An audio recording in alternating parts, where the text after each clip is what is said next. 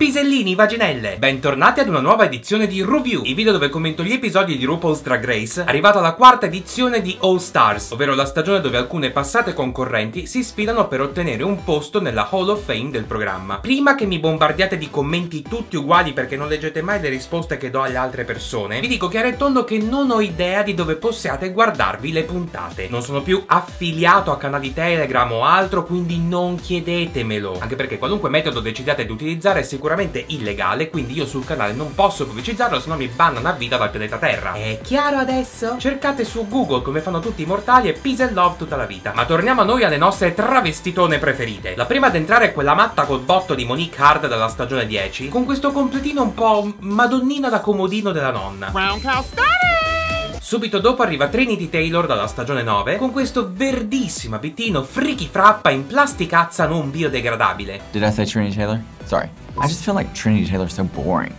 I am Trinity the Tuck.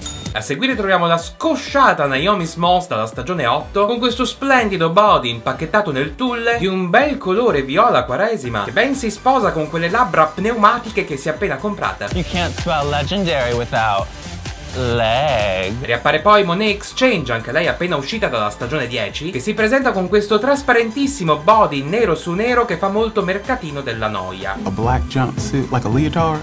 It's not stunning. Fa poi il suo ingresso Giagan dalla stagione 6, con questo completino un po' mignottone ecclesiastica, che diventa ufficialmente la prima concorrente transgender del programma. E su questo sprecherò giusto due paroline più tardi. She is shady. She's not the same person.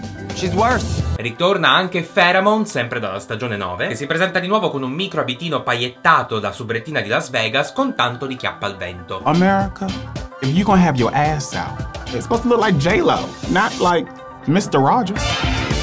Per la gioia dei suoi fans rientra anche Jasmine Masters dalla poco amata stagione 7, che effettivamente è stata piuttosto bruttina, con questo tailleur floreale a dicembre avanguardia pura. I am Jasmine Masters and I have something to say. Conclude poi questa reunion delle fan favorite delle ultime stagioni Valentina dalla season 9, sempre bellissima anche con questo orribile sacco da monnezza couture de sta ceppa che starebbe malissimo a qualunque creatura dotata di buon gusto. Let's do a conga like I'm surprised you know the words to that song. Con una finta mossa a sorpresa, RuPaul fa entrare in gara anche l'Atrice Royale e Manila Luzon, il team Latrilla, già concorrenti di All Stars 1 e rispettivamente della stagione 6 e 3. Permettetemi di dire che qualunque cosa succeda per me hanno già vinto loro a prescindere. Punto.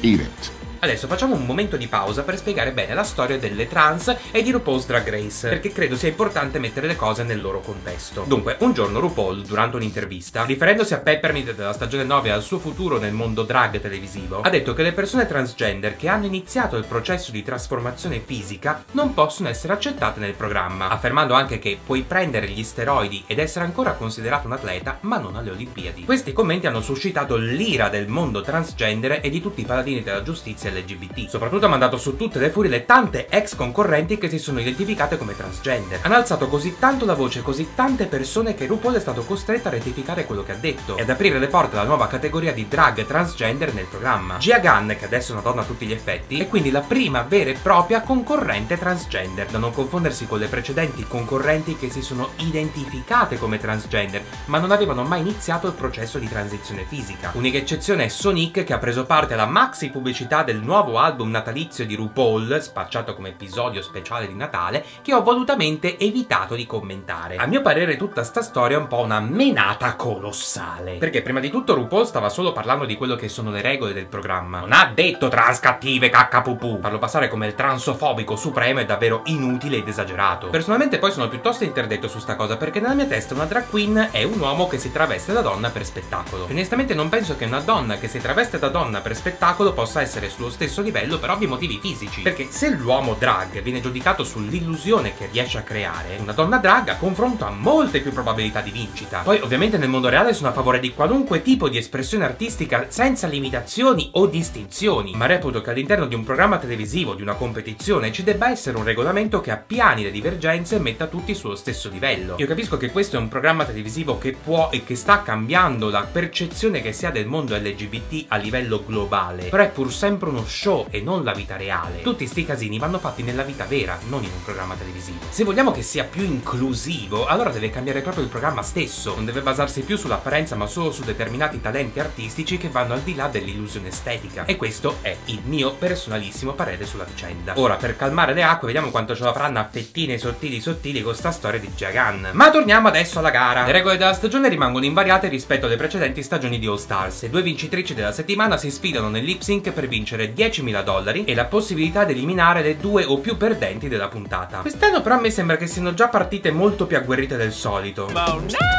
Exchange, the Sponge Queen. Yo! Too bad you couldn't soak up a win. Forse perché la maggior parte delle concorrenti sono scarti delle ultime due stagioni che stanno cercando a tutti i costi di ottenere una corona in modo da poter continuare a lavorare. Jasmine sis! Welcome to a season that somebody will give a shit about. Notiamo infatti un elevato livello di acidume tra di loro. Pheromone is so dumb, she thought Valentina was her best friend. Anche perché in questa puntata la sfida principale è la gara dei talenti e più o meno segretamente si domandano quali siano i talenti delle altre partecipanti. Well, let's be honest, Pheromone, she's not that talented. I mean, what's her talent? E io direi che è il caso di andare subito a giudicare le loro esibizioni.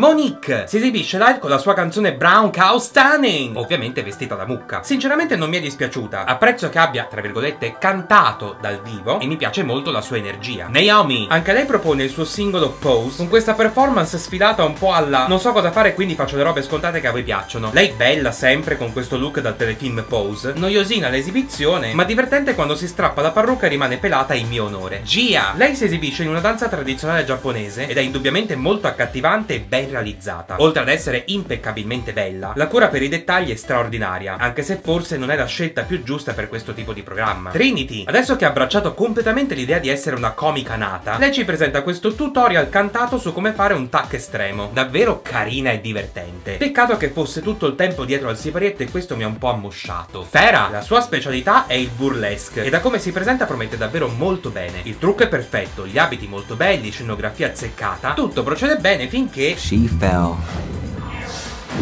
And she fell hard, bitch. È chiaro che si sia fatta parecchio male perché finisce l'esibizione tremando e un po' mi spiace per lei. America, she might be in the bottom. Cause it's not stunning. Monet, anche lei canta dal vivo, ma avrei preferito che non lo facesse. Ah, raga, non ve lo posso far sentire, ma stonata come un rutto a capodanno. Ovviamente presenta la sua canzone sulle spugnette e sui suoi finti death drop. Carino, ma niente di eccezionale. Cioè, anche basta con ste spugnette. Manila, lei dipinge. Un po' trita e ritrita sta cosa che fanno i pittori rapidi dove sembra che stiano solo scarabocchiando e poi girano il quadro ed è un vaso di fiori con vestito abbinato. Cioè, noia, però è Manila e quindi mi piace lo stesso. Jasmine, il suo talento è stand-up comedy improvvisato improvvisata, perché è abituata a fare video virali improvvisati che fanno tanto ridere, però dal vivo non funziona per niente. Where are the jokes? La Tris, pure lei cede all'esibizione di una sua canzone e sono sinceramente sbalordito di vederla così tanto agile. E si sbandiera tutto il palco, quindi mi piace un sacco. The Tris is sickening. Yes, yes, yes. Everything is yes. Valentina, ennesima canzone autocelebrativa in cui lei passeggia da una parte all'altra del palco facendo la velina. C'è poco da dire, lei è fighissima come poche, sembra molto Jennifer Lopez, però... Oh, nella bottom 2 finiscono Fera, anche se la cosa non la trovo proprio giustissima visto che è stato un incidente, altrimenti l'esibizione sarebbe stata anche piuttosto carina. E Jasmine che invece ha fatto proprio schifettino, eh. Le due vincitrici che si sfidano al lip sync sono Monique e Taylor, che dovranno poi eliminare una delle due perdenti. Nel backstage fanno quattro chiacchiere con loro e da un lato abbiamo Pheromone eccessivamente emotiva. I love you but your crying annoys me.